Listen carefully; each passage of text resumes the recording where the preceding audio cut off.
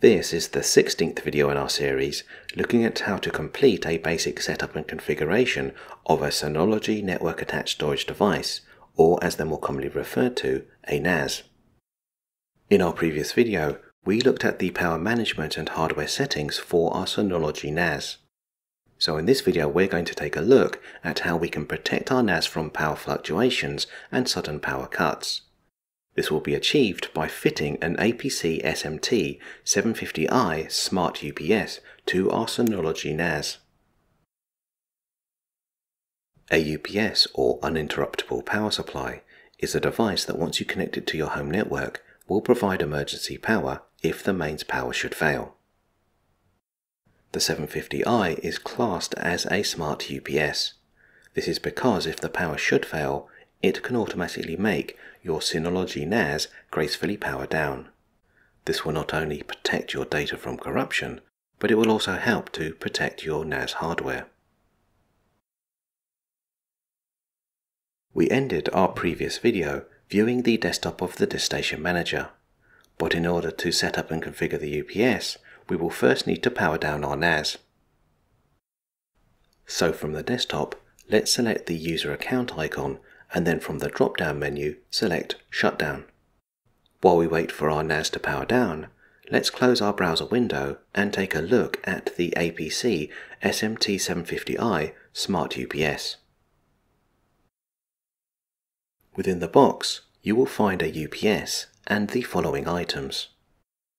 A copy of the PowerChute software, the warranty information, an installation guide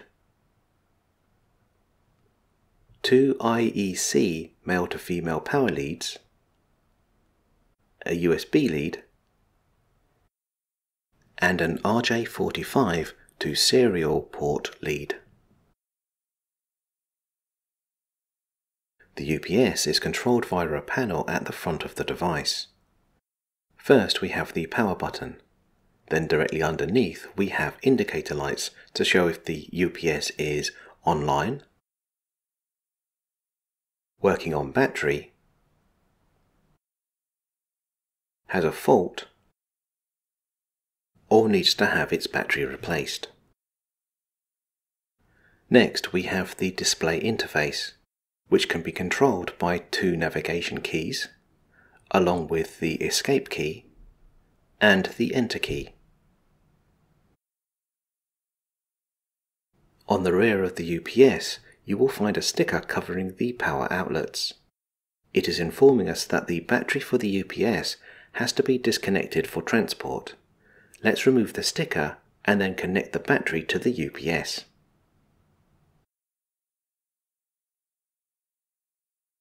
At the rear of the UPS, we have a slot for fitting a network management card. An NMC would be used to monitor and automatically power down multiple network devices in the event of a mains power failure. To the left of the NMC slot, we have the circuit breaker and overload protector, followed by the input for the mains power. Next we have the internal battery connector, followed by a bank of power outlets that use IEC female ports.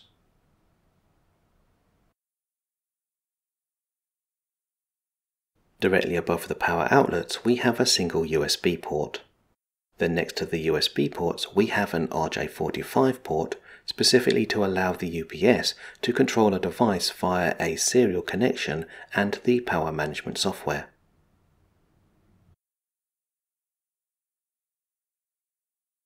As our NAS is now powered down, we have disconnected its power brick. You can see that one end of the power brick uses an IEC kettle lead.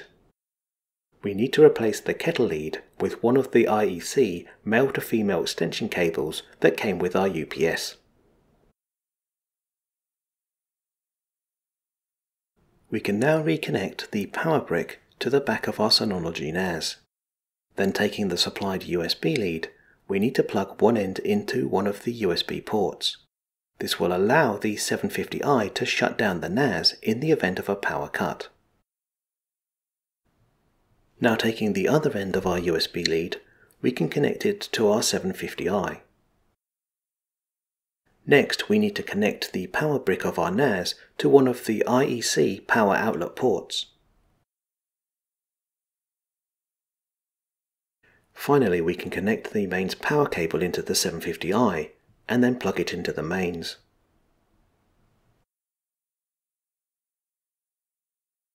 Let's now power on the 750i. As part of the process for creating this video, we first had to make sure that we were familiar with our UPS. However, when it came time to film, we found that even after performing a factory reset, we could not completely replicate the steps that we initially took to set up our 750i. However, so that you can have a better understanding of what we originally saw when we first initialized our 750i, we will factory reset this device and run through the setup wizard. When our UPS receives mains power, it will illuminate the online status light. As you can see here, the LED display will ask us to run through a setup wizard. First, we're asked to select a language. We can use the up and down arrows to choose an option. When we select enter, that on-screen option is set. The next option is local power. The default option is good and should be used if you're unsure of the quality of your power supply. The final option is menu type. While there are two options, we will leave this option set to standard. When we press the enter key, we're shown the load and battery of our UPS. Let's once again power up our NAS. Once our NAS is rebooted, we need to log back into the DiskStation Manager using our administrator's credentials.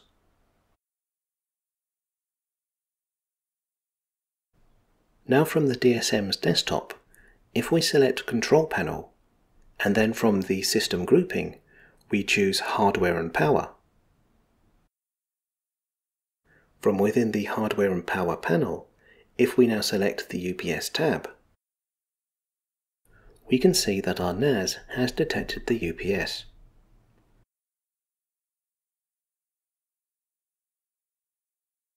When we tick Enable UPS Support, device information becomes active and we can review some of the basic information about our APC 750i.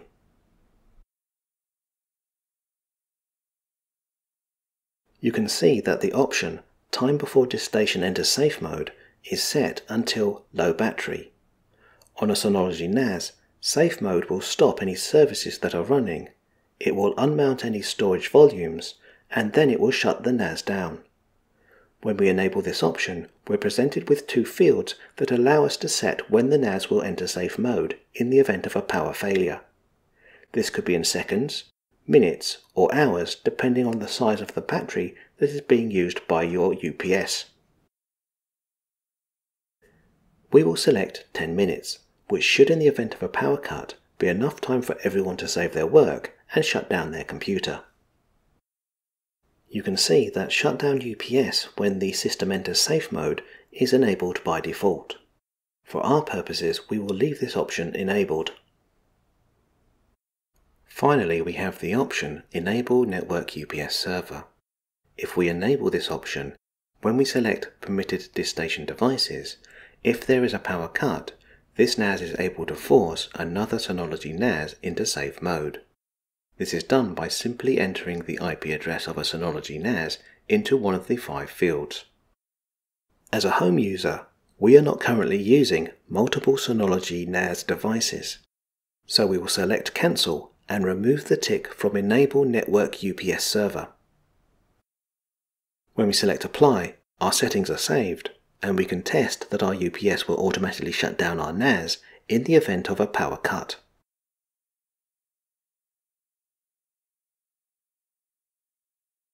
Let's simulate a power cut. You can see on the UPS that the status light for battery has now become active, but our Synology NAS continues to run.